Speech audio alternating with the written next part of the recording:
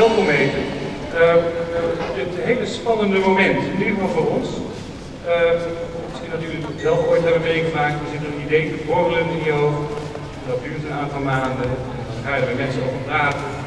En dan uh, krijg je in één keer hand voeten. Je gaat in één keer leven. Je gaat het concretiseren. En in één keer is er iets. Nou, dat is nu aan de hand. Het is heel spannend dat we dat iets aan jullie gaan presenteren.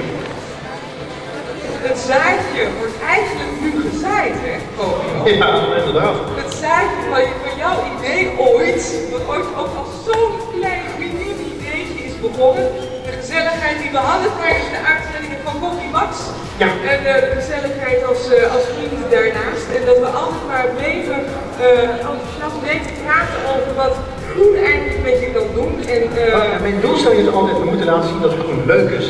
En dat kan op heel verschillende manieren. En vaak zeggen mensen het is een beetje afbollig of saai en dan moet ik met mijn handen in de grond.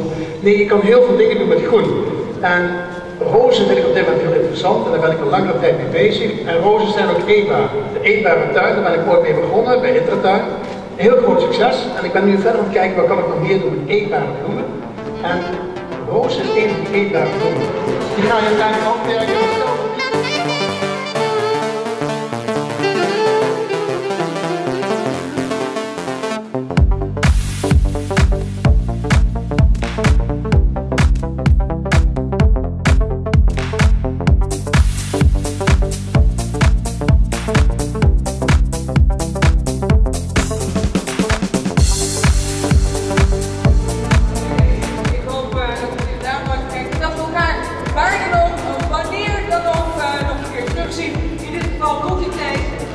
Your day. Dank u wel. Dank jullie wel voor je aandacht.